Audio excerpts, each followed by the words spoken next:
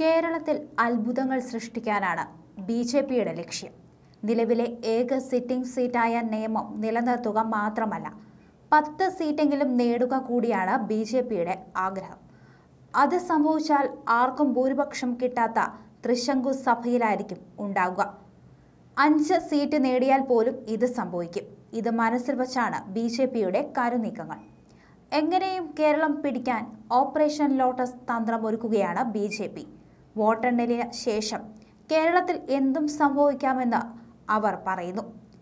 കേരളത്തിനായി കൂടുതൽ സമയം ആഭ്യന്തരമന്ത്രി കൂടിയായ അമിത്ഷാ നീക്കിവയ്ക്കും അതേസമയം വ്യക്തമായ പദ്ധതികളും തയ്യാറാക്കും.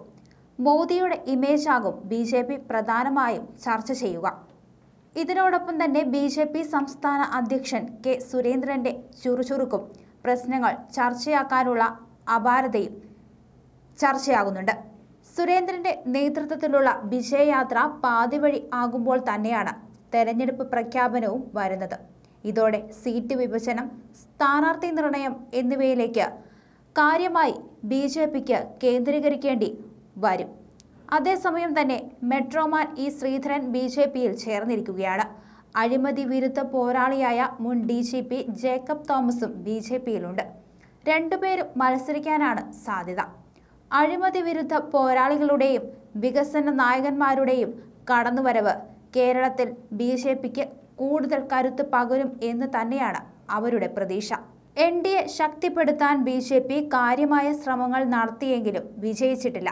കഴിഞ്ഞ നിയമസഭാ തെരഞ്ഞെടുപ്പിൽ കരുത്തു പകർന്ന ബി ഡി ജെ എസ് പിളർപ്പ് മൂലം ക്ഷീണിച്ചു.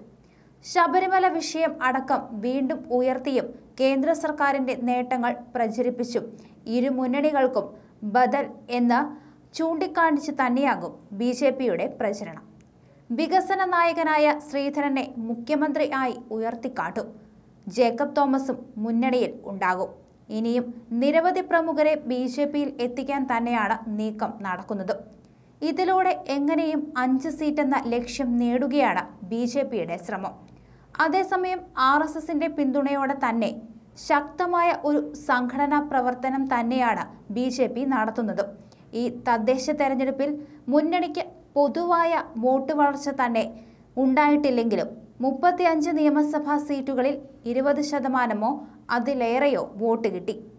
മുപ്പതിനായിരത്തോളം വോട്ട് കിട്ടുന്ന നാൽപ്പത്തിരണ്ട് നിയമസഭാ മണ്ഡലങ്ങൾ B J P A plus ആയി തന്നെ കണക്കിലാക്കിയിട്ടുണ്ട്. ഇതിന്റെ പത്തിടത്ത് വിജയമാണ് ലക്ഷ്യം. ന്യൂനപക്ഷ പിന്തുണ നേടിയാൽ മാത്രമേ ഇത്തരത്തിൽ കേരളത്തിൽ വിജയം നേടാൻ കഴിയൂ എന്ന് മനസ്സിലാക്കിയ ബി ജെ പി ക്രിസ്ത്യൻ വിഭാഗങ്ങളെ അടുപ്പിക്കാനുള്ള തീവ്ര ശ്രമങ്ങൾ നടത്തിയിരുന്നു. അതേസമയം പി സി ജോർജിന്റെ ജനപക്ഷത്തെ തന്നെ ഇത്തരത്തിൽ എൻ ഡി എയിൽ എത്തിക്കുന്നതും ഇതിനു വേണ്ടി തന്നെയാണ്. പാർട്ടി മുപ്പതിനായിരത്തിലധികം വോട്ട് നേടുന്ന നാൽപ്പത്തിരണ്ട് മണ്ഡലങ്ങളാണ് ചൂണ്ടുപലക. ഇരുപത് ശതമാനത്തിലധികം വോട്ട് കിട്ടുന്ന മണ്ഡലങ്ങളുമുണ്ട്. ഇത്തരം മണ്ഡലങ്ങളിൽ പതിനയ്യായിരം വോട്ട് കൂടി വന്നാൽ ജയം ഉറപ്പിക്കാമെന്നാണ് കണക്കുകൂട്ടൽ അതുകൊണ്ട് തന്നെ ശക്തമായ ഒരു മത്സരമാണ് എൻ ഡി എയുടെ ലക്ഷ്യവും. സ്വർണക്കടത്ത് കേസ് മുതൽ ശബരിമല പ്രശ്നം വരെ സർക്കാരിനെതിരെ ശക്തമായ നിലപാടാണ് ബി ജെ പി. സംസ്ഥാനത്ത് സ്വീകരിച്ചു പോരുന്നത്. സർക്കാരിനെതിരായ പോരാട്ടത്തിന് യു ഡി എഫിന് വേണ്ടത്ര കേൾപ്പില്ല എന്ന് തന്നെയാണ് ബി ജെ പിയുടെ ആക്ഷേപവും.